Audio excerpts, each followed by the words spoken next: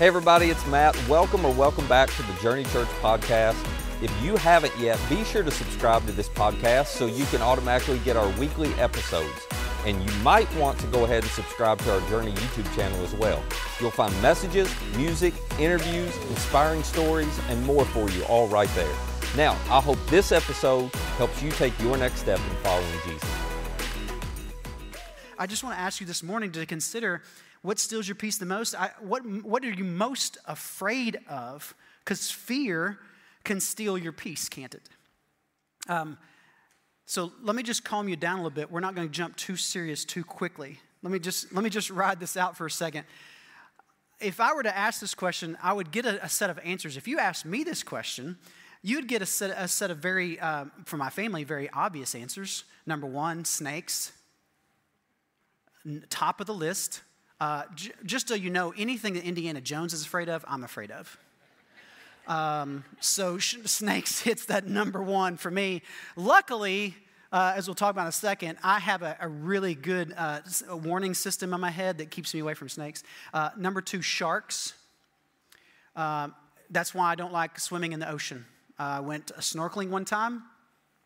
That's it. Didn't see a shark, but knew I was going to. So I got out of the water. You know what I'm saying? Like that's that's when you know something is controlling you, is when you try it and you realize I'm not gonna make it, so you just give up really quick. Uh, the third thing I think, uh, and honestly, I know you're gonna th- you're you're gonna think this is hilarious because it is. Uh, sorry, a tornado, a sharknado with sharks in it, tornado with sharks in it. T- number three, right? No, but think about, think about what you're most afraid of. And you often talk about these things that are momentary fears, right? So when you think about it, let go to that next slide. Fear is a helpful warning signal for us, isn't it? Like, fear has kept you from doing some really, really stupid things as a teenager. Teenagers in the room, fear is there for a reason, right? It kept me safe in times. Fear is a very helpful thing that God pre wired into our brains to warn us don't do that, you could get hurt. That's what fear is for. And you guys know this from maybe your psychology classes or your biology classes. What are the three ways that we handle fear in the moment? Do you guys remember what they are? The three, you remember, here, I'll help you out with it. Remember? Fight, flight, or freeze right? Those are the three ways our brain is wired to respond to fear. So when you're in a moment, let's say you meet a snake, some of you are fighters, and you're like, oh, me, no. I am a flight. I have learned from an early age that at my size and ability, running is always a better answer than fighting. So, fight, my brain never ever says, you should fight. I'm always like, you should run. Every fear I have is about running. Now, some of you are fighters, and I get that. You, you, when you get afraid, you bow up. I don't even know how, but you just, ah, you suddenly get ready to fight, and you scare people because you're scared, right? Those of us who run, pretty obvious. Runners are easy to spot. You freeze people, I still don't get. Like, you got no response. Like, what? But that's the way, listen, that's the way our brains are wired to respond to things in the moment. And here, here's the thing it's just not very helpful in certain situations. That's why we've been talking about in this series. You're not the boss of me. We, we've been trying to figure out, we've talked about all these different emotions. We've talked about guilt, we talked about anger, we're talking about fear today. How can you keep fear from being your boss? Because there's a lot of times your fears are not helpful. It's a warning signal but sometimes that fear is warning you off something is actually really, really good for you. And you're responding to fight, flight, or freeze to something that is not really something you should fight or flee or freeze in the middle of. And so, you, in this moment, your brain is telling you this is fear. And yet, in those moments, to address your fear and do something about it is actually the wisest thing and the best thing in the long run to do in some of those situations. So, so let me just walk you through. If I were asking the question, what's your greatest fear or what you're most afraid of, it really wouldn't be those things like uh, snakes and sharks and whatever, spiders for some of you, or the dark, or whatever it is for you. It really wouldn't be those things. So, can I, can I walk you through the, the fact that sometimes we don't think about our fears enough? And you're like, why would I want to think about what I'm afraid of? Here's why you want, because we don't think about really what the core fear that is drives us because our brain is so good at asking one little question that causes our fears to take control of us. It's called this question, what if? And what if is a great question, right? But what do you do when what if is on repeat? And you can't get out of the mode of asking what if and what if and what if and what if and what if and what if and what if and what if. And you never act because you're frozen, or you run away from something that you shouldn't run away from, that you stand and fight because you're so scared, or you start fighting something you shouldn't be fighting because that's your first response. But instead, what if you stopped and asked, why am I stuck in this what if cycle? What, what, would you, what would it cause you to do? Let me, let me give you some clues where I'm taking you this morning because I want you to be thinking through. There's actually, I think, some very simple things you can do to help identify really what it is you're afraid of in those moments. Now, obviously, there's some immediate fears you should fight, fly, or freeze in the midst of. But there's other things I want you to be aware of that there's the deeper core fear that's driving you, and it's taking control of you. And nobody wants to be controlled by their fears. So let me, uh, if you're this person, what if you ask this question? At the core, you may be asking, what if life gets harder if this happens? Like, if you really dive into it, a lot of our decisions about, like, our, our relationships, when they start seeming stale?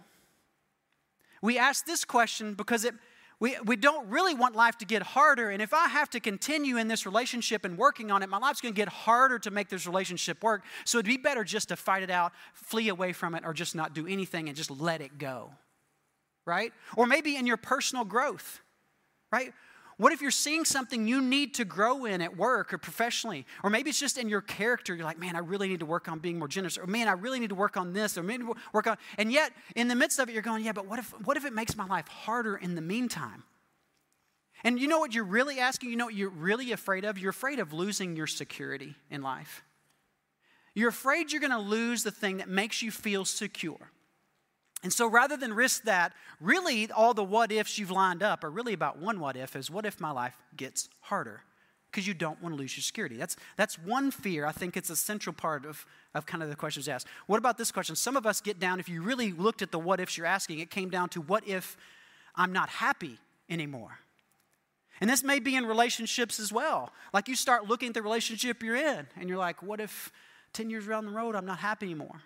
Or, or you start looking at your workplace and you're like, man, this is just is not making me happy like it did once before. Or maybe there's some other decisions you're looking at, and really at the core of this is just, I don't know if I could be happy. In other words, I would put this as satisfaction. You're afraid that your satisfaction with your own life is going to stop, and so you what if and what if and what if and what if. But at the core is your satisfaction, and that's the real question you have. That's the real fear. You're afraid of losing that. And then for some of us, it's this you're asking, what if I can't make a difference? And this is what, hey, listen, this is why many of you in the room are uncertain about serving in the community or serving here in our church. Because you don't want to get into something and be like giving time away to something because you're not sure you have what it takes to do what it is. You see that there's a gap in doing and you're not willing to do it. Or maybe it's in, in your generosity and giving money you're not sure well i don't know if my money really make a difference. Or maybe it's just in something very simple with your neighbors because you're like, I just don't. Maybe it's at your workplace where there's a really, really good project you could dive into, a little bit extra time, a little bit extra effort, but you're not sure will it even make a difference in what everybody's doing around in the office, and, and you just don't do anything because it's really about your significance. You're afraid that if you take this risk, you'll lose what you have in significance because you're risking your significance by doing that. So here's what I want to help you understand this morning. We don't need to be controlled by these fears of things. Jesus didn't want us to be controlled by these fear of things. In fact, Jesus spent a lot of his time with his own disciples trying to help them understand what their fears were like and what they should do when the what ifs and the what ifs and what ifs just built up on them. He actually gave them a pretty clear way to make it through their fears that were keeping them from doing the most important things. Because here's what I know about many of you in the room there's something you're afraid of doing or addressing or taking care of this week because it may steal your security, it may steal your satisfaction, it may steal your significance, and you're afraid that on the other side of this conversation or this choice or whatever it is you're facing, it's just too much to handle. I'm too afraid to go forward, so I will fight it out, I'll just flee away from it, or I'll just freeze in the midst of it and see what happens. And that is how fear becomes your boss. And Jesus doesn't want that. So let me walk you through. I'm gonna, I, have a, I have a couple of stories to share with you from um, um, the book of Matthew, written by one of Jesus' best friends. And what I find so unique about these two stories is the unique language that links them together, where Jesus is teaching his disciples really one principle that I want to help you grab onto. And listen, if you're not a follower of Jesus here this morning, let this be maybe uh, just a, an idea of why we as Christians think about faith the way we do, why we why we strive to work on these things in face of our fears. And you've watched some Christians in your life who have faced some really scary things with peace. And you've watched them face it with confidence and courage, even though there was nothing solid to stand on. And you've watched them make decisions that looked like it was going to make their life harder. But in the long run, you watched and watched and watched, and you thought, man, that was really, really hard. And they did it anyway. Man, and it made a difference. So here's what I'll walk you through. I want to I want to catch you up where we're going to start in the first story in Matthew chapter 8. Jesus um, is kind of beginning of his ministry, and his disciples are pretty new to following him, and they don't know him really well. And I think Jesus is kind of starting to set the tone for what he wants his followers to be thinking about and how they, he wants them to be thinking about their own lives and, and everything around them. And it says that Jesus had done some healing, and kind of a crowd started to gather, and Jesus is like, hey, we need to, we need to get away let's, hey, let's all get in a boat and let's go out on the Sea of Galilee. Let's go out there and let's, let's just take some time with just us in the boat. And I'm sure everybody's like, yes, a retreat, a little bit of calm. And then this happens. Suddenly, a furious storm came up on the lake. So the waves swept over the boat. I don't know about you. I'm not a, again, sharks don't get in boats much. Not even in the lake. I know there's no sharks in the lake, so they say. But water coming over a boat, I don't care who you are. These, some of these guys were experienced fishermen. And the reason they were in this situation is because Jesus asked them out there, they thought it been calm, and the storm brings something they did not expect. Water's coming over the boat. You do the math, water in a boat doesn't float. I just made that up just now, rhymed it out, made it. But here's, here's an interesting part Water's coming over the boat, right? And here's the next line. But Jesus was sleeping. First waterbed in history. Right? I don't I can go to sleep on a boat, no big deal. Water coming over, this is not a houseboat. This is a open this is an open face boat. Right? He's laying, I don't know, maybe he's propped up on the end of the boat and he's sleeping and water's hitting his feet and he's just like in dream world and you know, and you have those dreams and may, I don't know the situation, but I find it very, very interesting that in this situation, Jesus is just like, I'm not even acknowledging what's going on here. I'm, I'm not even concerned. I'm fully asleep. You can, and you guys have heard the story before, but you can guess how the disciples or what they're doing in this middle of the situation. Let's re- here's where they're at. Jesus is sleeping, and the disciples went and woke him up. Like, why would you have to wake somebody up when the boat's going underwater? Saying, Lord, save us, we're going to drown. And here's what's so cool about this, guys. They go to the right person, right? In the midst of the storm, who would you call on? call on Jesus. Eh, they do the right thing. They know who to go to, they know who to go for help. So, why does Jesus respond the way he responds if they did the right thing?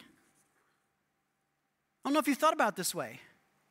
They're scared to death. And here's what Jesus says to them when he wakes up. He replied, You of little faith, why are you so afraid? But Jesus, they did the right thing. They went to you when they were in trouble. And now listen, Jesus isn't a dummy. I, I don't think he was asking this question to make him, what's your problem? I mean, he was asleep. But what was he trying to do with this question? Why, why are you so afraid? Of course, he knows why they're afraid. They're afraid because water inside boats don't mix.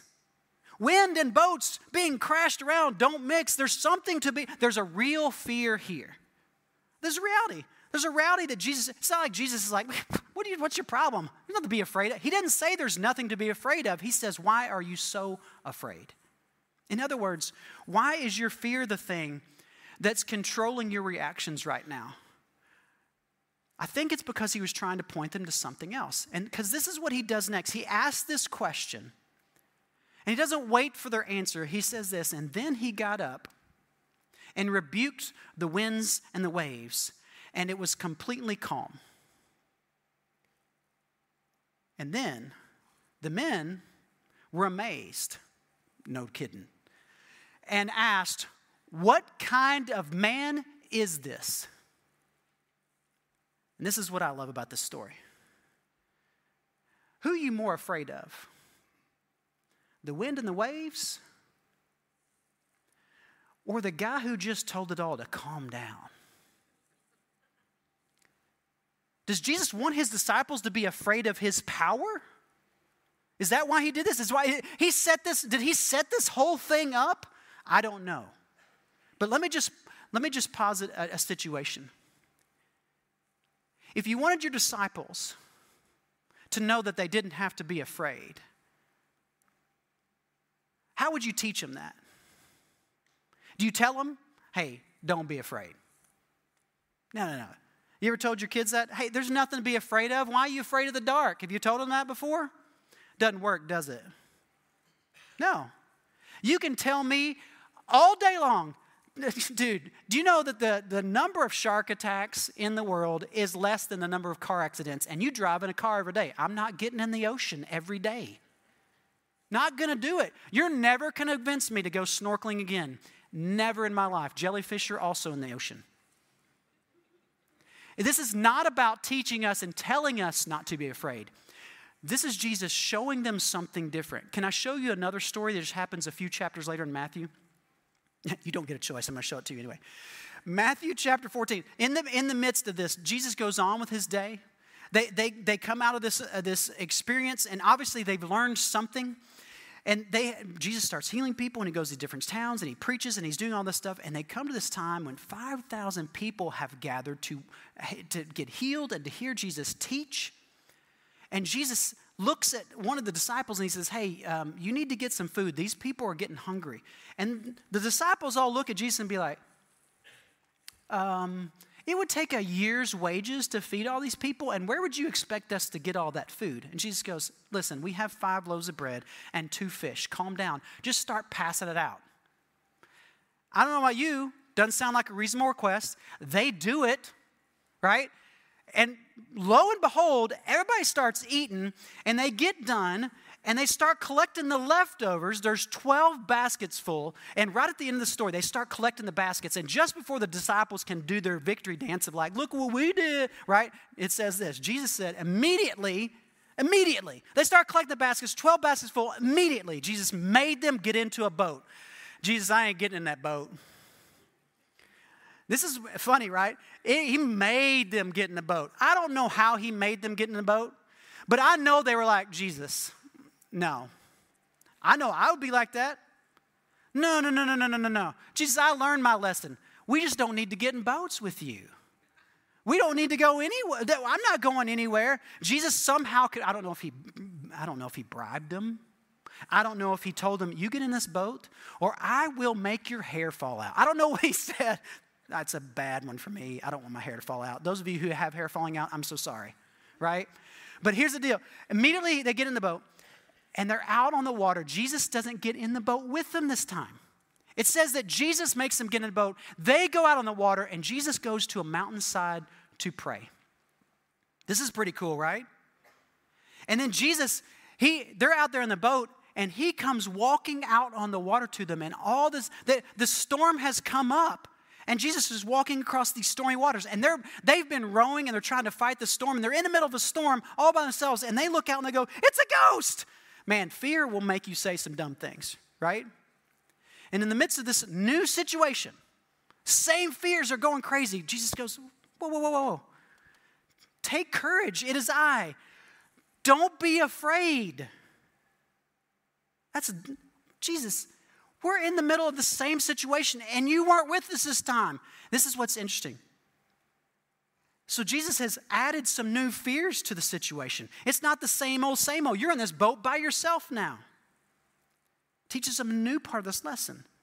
He's walking out to them. And this is what's interesting about the next response from Peter. Poor Peter says, Lord, if it's you, I know what you can do.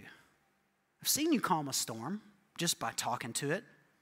And I've seen you feed people with five loaves and two fish, and I don't know how to happen. So if it's you, and this is a huge moment for Peter, right? If it's you, Peter replied, tell me to come out on the water. Think about that for a second. You're in fear of the storm you're in, in the boat. You see somebody walking water, you think it's a ghost. Fear, fear, fear. And Peter stands up and goes, If it's you, then tell me to walk out there. This is the moment, right? You've heard, if you've heard the story before, like this is one of those moments. And he gets out there, right?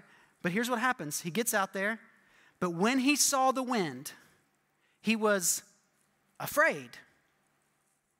And beginning to sink, cried out, Lord, save me. I wonder if Peter thought, maybe if I'll show Jesus I'm willing to get out of the boat, then everything will calm down. Maybe, maybe once I take this big leap out into this stormy waters, it's going to just calm down like last time because he's here. And once I get to him, it'll get calm. Once I get out there and grab onto Jesus, where Jesus is, it's calm. Maybe if I get out there, it's just going, everything's just going to go great. and he gets out there and it's like, oh crud, it's actually wind. There's waves. Oh my goodness, I'm walking now. Jesus, save me. Isn't that a good thing to say? Isn't that a good thing to do? Yeah, I'm not telling you it's bad not to reach out to God, but listen, in those moments, Jesus is trying to teach his disciples something else. And here's, here's what he does next. Jesus, it says, Jesus immediately reached his hand out and caught him. You of little faith. Again, same phrase, right? Why did you doubt? Why did you doubt? It's not that Peter doubted Jesus' power necessarily. I think Jesus is trying to point us all and his disciples to something different. Because, see, those of us who follow Jesus, we know Jesus has the power. We just think he's going to use his power differently than he often does. And instead of trusting the power he has to do what we can't see, we stop believing in his power and stop focusing on the circumstances that are around us. So Jesus grabs his hand, You little faith, why did you doubt? And it says this And when they climbed into the boat, the wind died down. And then what did the disciples do again? Same exact response. Truly, you are the Son of God. And this is what I think with your fears, with my fears, I think the problem is that they control us because we are unwilling to release the control of our fears to the one who has control of the storm. And what we'd rather have is just calm in the storm. We can have that, but we think it's going to look differently than the way Jesus has it planned out because Jesus is trying to teach us something different about himself and about you in the midst of something that you're afraid of. And here's what he wants to teach them. Let me wrap up these two stories with, I think, one basic principle that can free you from the power of fear, and it's this He wants their confidence in His power to overwhelm their fear. It's not that there's nothing to be afraid of, guys. There's lots of things to be afraid of in this life. Well, what if this happens while we're on this trip? Or, or what if I take this job and this ends up? And, and what if I stay in this job and then this happens? And what if I do this and she does that? And what if I say this and he does that? And, and what if I do this? It'd be better if I just didn't do anything at all. It'd be better if I just, maybe I just stick it out and I fight them all for it. Maybe I just better if I just run away from it all and get away. No, no, no. She just says, no, no. I want you to have more confidence in me than the fear you're facing. And what I mean by that is, I'm not going to make everything better immediately all the time. But I'm going to stand here with you and help you do what needs to be done. Because my power, listen, if you had to choose between the storm and the guy who can calm the storm, which one are you have more confidence in? And Jesus, over and over again, tries to tell his disciples, have more confidence in me. And this is what's so interesting. He teaches this over and over and over again, and his disciples just never get it. This is why I trust the Gospels. Because over and over in Matthew, Mark, Luke, and John, over and over again, the disciples look scared. They don't get it. They can't quite figure Jesus out. The whole time they're with him, they can't figure it out. This is why over and over again, he sends them out to do things, and he's like, no, no, no, no, not that way. No, no, no, no, you got to love these people too.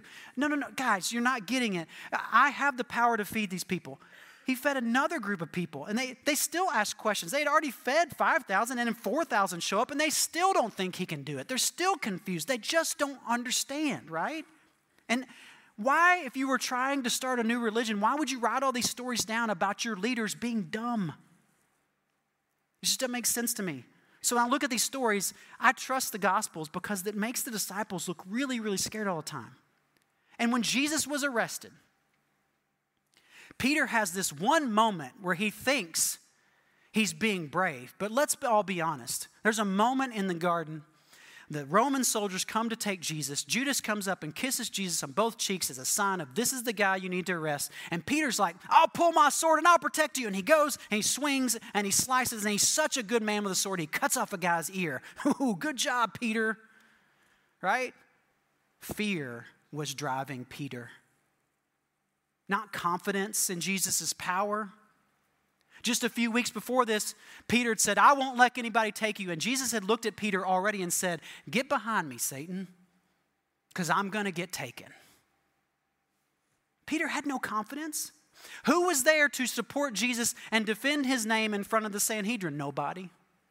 What was Peter doing? I don't know him. I don't know him at all. No confidence.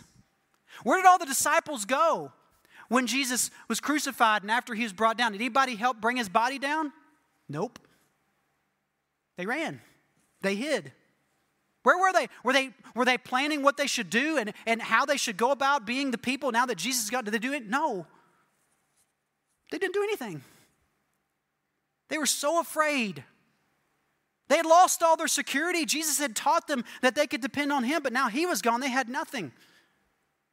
And they, they'd lost all happiness. Can you imagine the joy they had with Jesus every single day, even though they didn't have a lot of wealth? Jesus had nothing. He didn't have a home. He didn't have a bed to lay his head down in. But he was so much joy everywhere he went children and people and women and poor. They loved being around him. Can you imagine going with Jesus everywhere? How much fun it was? But they had lost all that. And gosh, what significance did they have? They had no purpose. They had nothing. What would, what would they do without him? And this is why. Once they see Jesus alive, the stories in the Gospels change from scared little guys to confident, at peace, willing to stand men. They're willing to stand in front of the Jewish leaders and preach and teach and tell them, no, we're not going to stop telling about this Jesus we knew and we saw him alive. And now they had confidence. and this is why they were willing to be stoned and beaten and flogged and still sing praises of him inside of prisons. And this is why they were willing to go out into different communities and collect money that they didn't have from all their people and give it away to other people to help them because they had confidence in something that was more powerful than their fear. They had seen a man conquer death. And this is why Peter, that guy who tried to get out on the water and didn't understand it then, that guy who tried to slice with a sword and cut off a guy's ear and just scared to death everything was going to fall apart, and it did exactly the way he thought it would. This is why years later he writes to a group of churches and he says this one phrase Cast all your fears on him because he cares for you. This is his confidence, guys. Yes, there's something to be afraid of. But you can cast your fears on Him because He cares for you. And that's the difference. When fear is in control, you're not thinking about the care that God has for you in the midst of your circumstances. You can only think about, am I going to be secure? Am I going to have satisfaction? And will I have significance in this? It's all you can think about. That's why you ask the what if questions you do, because one of those things you're going to lose. And Jesus is like, no, no, no, you don't understand. I'm giving you all that. I can give you security, I can give you joy in the midst of pain. That health problem that you're dealing with, yes, you should be scared. It's scary. But I'm with you. And I can give you happiness in the midst of this. I can give you joy in the midst of this. Yeah, but my marriage, it just feels dead. yeah, but I can give you security in the midst of that. I can help you learn how to love and be patient and be kind in the midst of that. Yeah, but my job, it just feels like I'm doing the same thing over and over again, and I don't think I'm really making a difference. It's okay. I can help you. I can do this in the midst of this. I know you're scared to do this thing, but I'm with you. Will your confidence in Him be more powerful than the fear you have standing in front of you? And so, how do you do that? Simple. So simple. You trade your fears for His love. That's it. And you're like, oh, yeah, thanks, Jarrod. Trade your fear for snakes. Okay, I'm working on it. All right. But those core fears, how do you do that? Here's my challenge for you super practical, something you can do today, or as you feel those fears rise up, right? You think you got it beat, and then, man, tonight you lay down and, man, everything comes back. What if, what if, what if, what? And you're what ifing yourself right into a, just a swirl of fears, right? Here's what you do you got to sit down and you got to write down all the things that you're afraid of. You got to write down your fears. Why? Because if you don't write them all out, they just become what if, what if, what if questions, and they become part of you. And when you write them down and you write them out on a piece of paper or you type them out on a note, they become something else besides you. And then, number two, you look at those fears and you decide what is the core fear behind each of these fears? Right? What is that core fear? Is it a security fear? Is it a satisfaction fear? Is it a significance fear? Is this about me feeling secure? Is this about me feeling important? Is this about me feeling happy? Which of those core fears is it? And if you can identify the core fear, then you know what you can do? You can go, God, I think, I think I'm more afraid of being important than I am confident that you're going to give me the significance I need if I'll do what you ask me to do. I, God, I, think I'm actually more concerned about my happiness than I am about doing the thing that's right in this situation. And even though this is harder than doing it this easy way, God, I realize that trusting you is more important than me just thinking I can be happy over here, flee, fleeing away from this, this situation. God, I, maybe it's just about my, my security in life. I, I won't feel secure, but God, you're telling me that I can trust you and be secure in that? yes. So you just actually have to trade those core fears for something that's more powerful. Because remember, guys, I don't know about you, but if you're standing in the middle of a storm and a guy says, Hey, why don't y'all calm down and everything goes quiet, I think you can trust that kind of guy. And I think you can trust the guy who went to the cross, died a real death, faced a death and then came back from it under his own power. You can trust a guy like that because if he can conquer death, he can conquer your fear. But I'll bet, I'll bet, even if you make it to this far, this is step two. Number three is the real thing because that fear is going to keep popping up. You need to make a list of truths about God so that you can fight your fear with the actual truth of who He is. Because this is not about Him fixing your circumstances, this is about Him being the power that you need in the midst of it. So you make a list, and listen, if you need a list of verses, there's this cool thing. I don't know if you heard about it, but you can go to the internet, and there's this thing called Google. Maybe you're a Bing person, I don't know, but you can type in, I'm afraid of blank. Tell me a verse that helps me not be afraid of blank. Did you know you can find verses that way? It will give you, there are people who put these lists together. If you're anxious about this, if you're worried about this, if you're afraid of this, it gives you verses to read. And you know what you've got to do? You've got to trade those truths for your fears. You write out your fears, you identify the core of it, and then you trade the truth about who God is because this is not about Him fixing anything for you. This is about you being more confident in who He is than the fear that you're facing. And I hope this week, rather than fleeing away from something, you'll stand. And rather than standing with your fists up and fighting, you'll stand and do what's right for the people around you. And rather than freezing up, you'd be willing to do the thing, say the thing, or be the person because you're confident in who Jesus is and the power that he has rather than looking at the storm that's swirling around you. Let me pray for you. God, I pray. God, we all have fears we're facing. We all have decisions to make. We all have people in our lives that we're uh, afraid to approach or talk to. We have things at work that we're afraid to address. God, whatever it is that we're afraid of this week, would you give us confidence that your power is greater than our fear? And if we will be obedient to what you've asked us to do in the middle of it, that God, it is better in the long run, even if it looks like right now that we're going to lose something in the midst. God, you lost everything. Jesus gave his life to show us that there is life beyond that death. God, thank you for the gift that you give us through Jesus' death and resurrection, that it's available to us even in these small fears or these big fears. And God, especially as you approach this holiday season, God, would you help us have peace? in the moments when we feel like fear has control of us, God, we want you to be our boss, not our fear. And we pray these things in Jesus' name. Amen. Hey, if you'd like more content like this, subscribe to our YouTube channel and download our Journey app to access all of our recent message content. And our app is the easiest way to share this content with friends. For more information on our church or to find our app or our YouTube channel, just visit journeycalway.com. That's journeycalway.com. Thanks for listening.